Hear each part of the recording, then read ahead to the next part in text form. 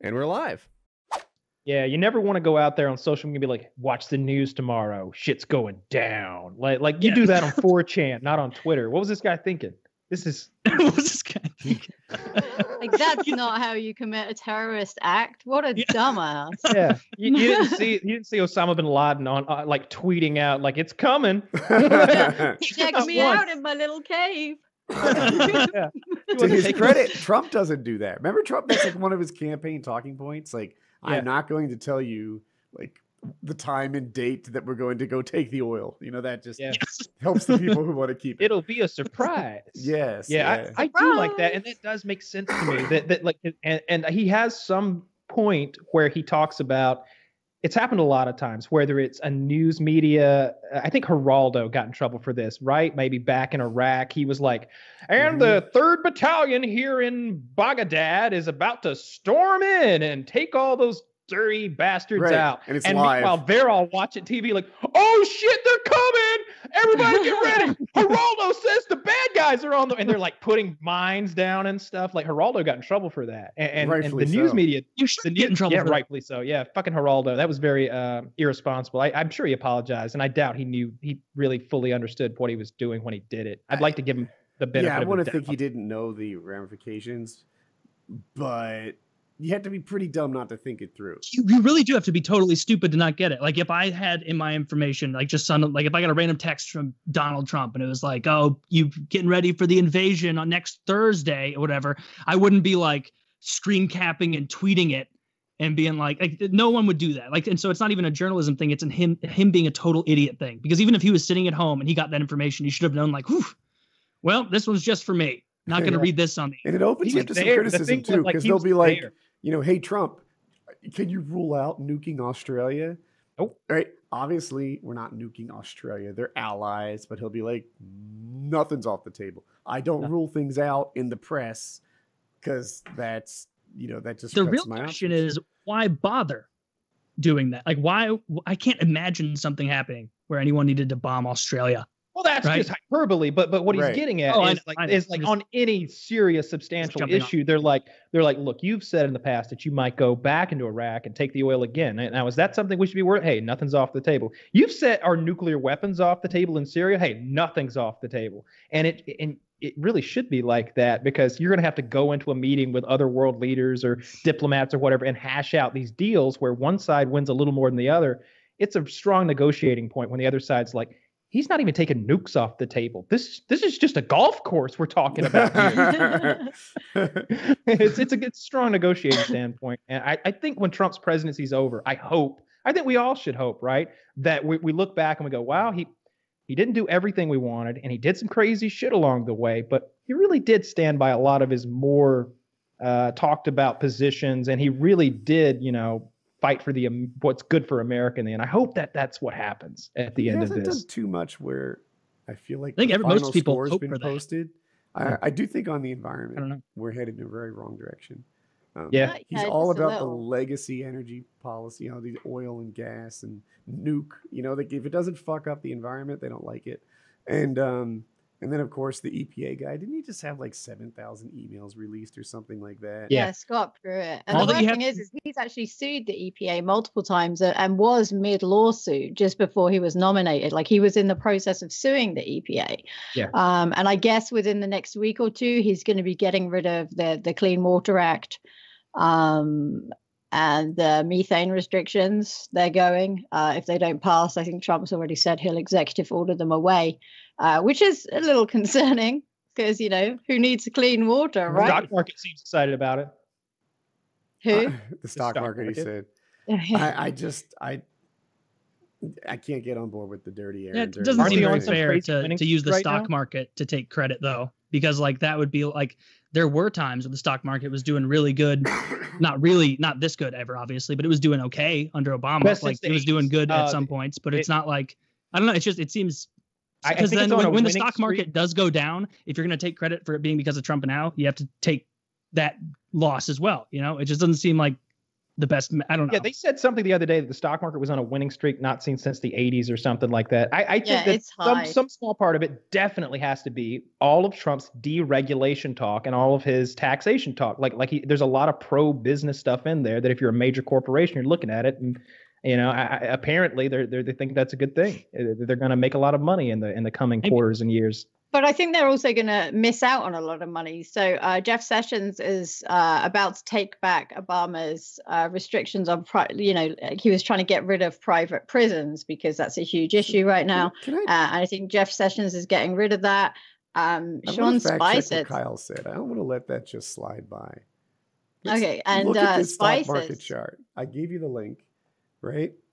This is what the stock market's been doing, and you can see it's on a little run up lately. I don't know exactly when Trump started his term. What was it It has been on average higher since Trump. I'm not a particularly a so Trump for supporter. people So watching? Trump took over right around here where my mouse is. I see a trend that looks kind of the same since about 2007, maybe U.S. stocks on Wednesday were looking at their longest record-setting streak in 25 years. The Dow Jones Industrial, S&P 500, and Nasdaq Composite all climbed. If all three indexes close higher on Wednesday, it will mark five consecutive days of all three re- setting record highs at the same Oh, time. The so longest all- such streak of simultaneous records since a That's six. a bullshit streak. session Yeah, I don't really care how many Is days in it? a Yeah, row. I mean- yeah, that's a total bullshit. Like, But at the oh, end of the- they all like, went the up for five market- days in a row. That, like, that's not a thing. But uh, I'm looking at the stock market, you know, from the long Market term Watch here. made it's a Market Watch article. This isn't you know. I'm not saying that it's incorrect. I'm saying that it's a bullshit like thing to measure. Like, it, if the thing five goes up, days isn't really long enough. yeah, five days in a row back of in a going month. up, you know, like that, I, I could give a fuck. Um, but I do care about the long term. And if you look at that, this to me looks more or less the pace that's been set through Obama's term. Right? Obama took over in 2008. Um, so it actually dropped at first when he joined. He joined right around there. and um, and then went up for the next seven years. So I don't see Mhm. the Trump stock market doing something that the Obama stock market didn't. Now, if it continues to go up, you know, unabated, that's pretty amazing. But it's just a continuation of the existing trend so far. I, I think there's just something too that MarketWatch.com wrote an article about it though. Like like like I don't know enough about the markets to know if this is a, a thing that matters or not, but they seem to think it was. That's what they do. I mean, it will do go up how do for a bit with all his deregulation, and he's trying to get companies to manufacture in the U.S. Those things are good for the economy. Um, I'm not really a fan of Trump, but I don't think we have to worry about the economy. I think we have to worry about everything else while he's president. Um, but I, I do think he's going to be good for the economy because he just, you know, he puts companies like, you know, he'll call them out. Yeah. Uh, you know, Yeah, he does. Do I, I don't know. The whole stock market thing, it's like it just seems like whether or not it's up or down, like it's hard to make that connection with the actual president, you know? yeah. Like it just doesn't Yeah, seem I mean- like it's a good argument in favor or against Obama or Trump because it's like like they've had they've presided well Trump hasn't presided over a bad time in the stock market yet but he's it's so new like you were saying it's such a small sample size it will happen.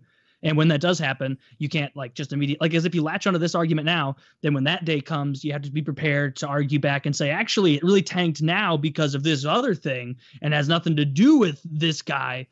Like I don't it just seems kind of Yeah, Like, it's easy to stock argue in market on an eight-year-long bull run, and a lot of people are like, "Look what Trump did," but Oh, yeah. you know, like I've seen that. It's I've like been- you've been in the office what two weeks?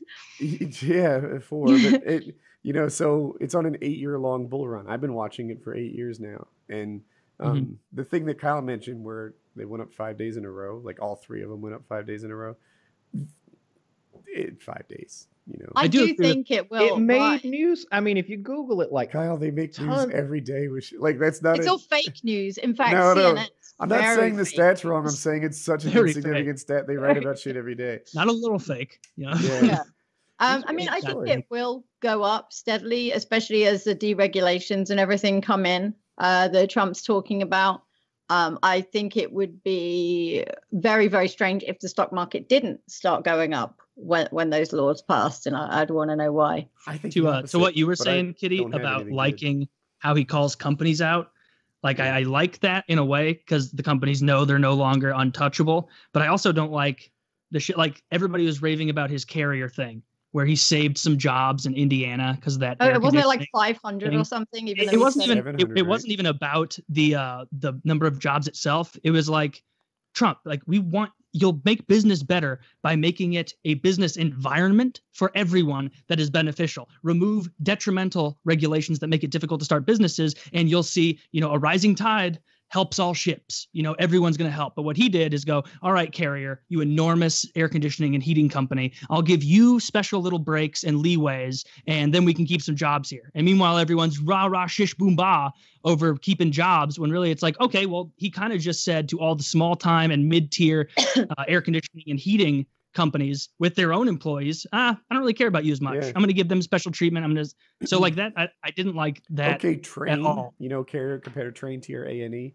Like, well, Yep. you're fucked because the government just gave carriers seven million dollars to lower their cost of operations, and Yeah. uh, You're didn't making it a any- better, yeah, Yeah. it's not a better business yeah, environment. Every business can't take it and thrive off of it, you know? when I meant call them out, I meant like, hey, you know, X company, why are you closing down your plant and going elsewhere? Ah, Yes. I don't think he should be able to give uh, beneficial treatment to one or another. In fact, I get quite frustrated when I see him on Twitter that's like, oh, these guys are great. Go purchase all your shit here or, or whatever.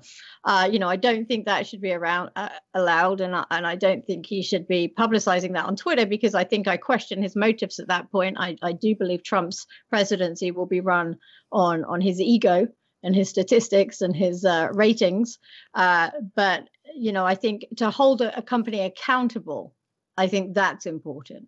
yeah, Yeah, I- there was to a put them in the public used to- eye is definitely They it. used to call them You're right. Benedict Arnold CEOs when they outsourced jobs, and I loved it. It was so pointed, you know, like yeah, that guy's a Benedict Arnold CEO. He is firing Americans and hiring Indians or whatever, with a traitor, and uh, it just didn't really catch on. They, they they should be calling out Tim Cook. They should be calling out you know CEOs from all over the place who do. But he's an interesting. Don't you wish public Trump was slick? Don't you wish he was well, slick don't and. I wish his IQ was over 50. I, his IQ is over 50. I wish though that he was slick and smooth and when they asked him a question, he knew the answer. And not only did he know the answer, that he was going to tell you he was going to give you a paragraph that, that that at the end of it you were like I came in here totally misinformed. I- Donald just set me straight. If you hear watch you, him answer thing is, questions, Ted Cruz is slick and smooth, and Trump beat in a him. Zodiac killer right? kind of way. So- this is like wha- the best whatever- debater in the Senate. Yeah. So whatever Trump's buffoonery is, it is a package that sells. For whatever reason, people are buying Trump more than Oh, Cruz. Oh, he was the superior candidate by and large. We all know that. Uh, not Oh, true. oh, Cruz was. You Then mean. how did we get to where we are today then, Woody? He has, Clearly he his was. buffoonery beats slick and smooth debating skills. Apparently. Well, then, then maybe don't more think it politicians would should have shift had to we had- buffoonery. Like if you were in the UFC and, and all of a sudden there was a guy just knocking everybody the fuck out with like heel clicks, like yeah, he just jumps up, clicks his heel to the side. and Right. They don't know what's happening. he Next thing you it know, the why Wizard bada of bang, they're out. Oz. You, Here's you'd be the like, all right. If you could snap your fingers and have it be just Cruz in there instead of Trump, would you do that? no, no, no, no, no, no, no. I, I want, I like Trump better than Cruz. I don't of know yet. Trump is Cruz I- is much more conservative in the scary Yeah. kind of conservative way that none of us like at all. Mm. He- you know, we talked about earlier how like, He's oh, a constitutionalist. you're a pro you're pro second amendment i probably know how you feel about abortion now Right. the three of us four of us i would say don't fit into that mold but Mhm. ted cruz does ted cruz does fit in that mold and while donald trump may put a supreme court just as he is that that is uh you know pro life um, Ted Cruz is is a whole nother animal of conservatism that that we don't want. The, the conservatives who are in Congress think he's too conservative. He was the outside. If Donald Trump weren't in that race, Ted Cruz would have been the outsider. that the everybody thought. religious shit is definitely his biggest That's not drawback why he's the outsider. because I do like him. Like he's more of a constitutionalist than Donald. He's Yeah, more conservative in the good way than Donald too. I think. But it's But, why I yeah, the him. religious Pence is shit is a scary having him as a vice, like because I feel zap like till they're Trump's got this massive. Yeah, and Sorry? Trump Trump zap them till they're straight. Uh, Trump, he's saying the conversion therapy stuff. Uh, I can't think of another president in my lifetime, maybe Reagan, who was closer to death than Trump. You know, I, I believe that. Yeah, there's been like people. By Re- age? well, there's not a just there's by a age, Twitter. but by age is part of it. The fact is, Trump. I I saw Trump recently, and I thought he's getting kind of a Chris Christie body type. Like he's getting big. Yeah. Yeah. And so that heart, and he's tallish too. I think he lies about his height, but he's like six two, and um, uh, so he's a big man. That heart a large does guy. a lot of work, and you know, even though he's after Obama, I'm sure Obama will live longer. I wouldn't be shocked if Carter outlived Trump. If you told me Trump dies Aw. one year into his Oh. term, oh, Trump could die tomorrow. Trump is a stroke away. Oh no, I- no, no. I, I, it could be. I'm just saying with Carter, like Carter's definitely gonna die before Trump. Like he Yeah. looks like he's knocking on death's door. And I mean- HW, he's gonna die. Bob Dole too. W struggling. Yeah. You see Bob Dole at the inauguration? He was the one at the top Hmm. of the stairs in the wheelchair. You didn't, didn't recognize him anymore. Yeah, Mm. yeah. That's. I mean, Trump's diet as well. Like a lot, there's there's actually a Twitter called Rogue White House, and it's supposedly run by a couple of staff members, but we don't really There's know. a couple of them, but, But- yeah. Yeah, yeah, they talk about his love of junk food and how like we've always got to have fried chicken ready, you know, Nice. on the go. But I actually believe it. Like the, I think Oh, this. Rogue White House Twitter is real because none of it's like really outlandish for Trump. You know. Yeah. I, I I've seen him eat lots of McDonald's and shit on the on his plane. Um, it's I, I like that. That makes him more human to me. A, a, a Mhm. president who eats fucking fast food, like I like that. I- Especially a billionaire president who eats fast food. Like how relatable. Who of us? Who of us? uh, We can all relate to that. Uh, Mhm. that that's an, I like that about him. Like like you hear you hear so much crazy shit about him about him pissing on whores and in Obama's bed and like you know raping women and grabbing pussies and and storming into like dressing rooms that you hear he eats fast food. You're like, oh, okay, well, who I just- cares? dude, I do too. The thing about defiling a bed that Obama once slept in means so nothing to me. Like, if, let's say that one I of my couldn't care any less. if my enemies came out of the woodwork and said, I found out Wood, Woody stayed at a Holiday Inn back in 2012 and we peed on the bed that he slept in, I'd be like, You think you got me? Like, you think it, like, that's a thing that you did to me? Sleep pissing in a bed they need to clean. in a hotel from years ago? Like, you didn't do shit It to me. sounds to me like let me let me pose this little scenario. Let's just say that it is true that there was urination. Um, one that shows that Donald Trump's into that. Who cares? Again, I- think the fact that he was staying in the room that Obama stayed in is com- completely coincidental too, because you would imagine that the president of the United States and a billionaire the likes of Donald Trump probably get the best fucking room in a hotel when they go there right? right? So they're he, they're gonna be in the best. room. It's like if if Obama and Trump go to the same hotel, period, they're probably gonna, you know, at different times, they're The probably gonna be. presidential in suite. They're in the presidential suite or the penthouse suite or Mhm. something like that. Spare no expense, right? In Obama's case, we're paying for it, and Trump's at least back then he was paying for it, I guess, or maybe some people he defrauded. Who knows? But in any case, yeah, I just don't care about that. I don't care about that at all. I do like that he eats junk food. That kind of makes him Hmm. relatable, Kyle and I hope he oh, doesn't get fat. oh, it's He's real. for He's gaining weight. yeah, he's no. gain, Yeah, he's Well, already. he's He's, deep into overweight, fat. He's not fat. Overweight, No, not he's fat. fat. Seventy year old man, fat. That's not that bad. He's he's look. he's full form fat. Stress. I no, it's not a good look. He's got a lot of stressors these days, though, right? You know, he's I'm got. not saying it's like evil. I'm just saying he's definitely fat. He's getting. like he's fat. he's gained. Look at a picture of him from a year and a mm-hmm. half ago, and then look at it now.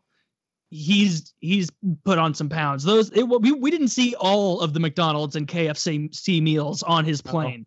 No, there were like, many. you for know- everyone you saw, there you know there's more. I feel for the chef at the White House. Yeah, he's going, President Trump, we have prepared this beautiful duck l'orange with asparagus. Get me a fucking Happy Meal. or it's just like uh here's your salt and pepper shakers and all your soups and everything. Do you have any MSG? I love the smell everything I have with MSG on it. You know, on my plate That's a good impression. he's oh he's I want a Ridic- big back. Oh, Shit. I can right, imagine him like trying to like endear himself to his audience with those tweets of fast food, and then Mhm. eventually it was becoming like every time he was sitting down for fast food, like a new aide came over to take the picture and tweet it, and eventually you know he had to be like, "Well, th- no reason to let the American people eat it twice in one day," you know, like McDonald's twice in a day, not the best thing, you know. he's uh, he's gotten too big. Um, yeah, he's sorry, I, I interrupted one of you Jimmy, sounded like you you had saying something. No, I was done. I Uh, was laughing at oh, Taylor's uh, impression.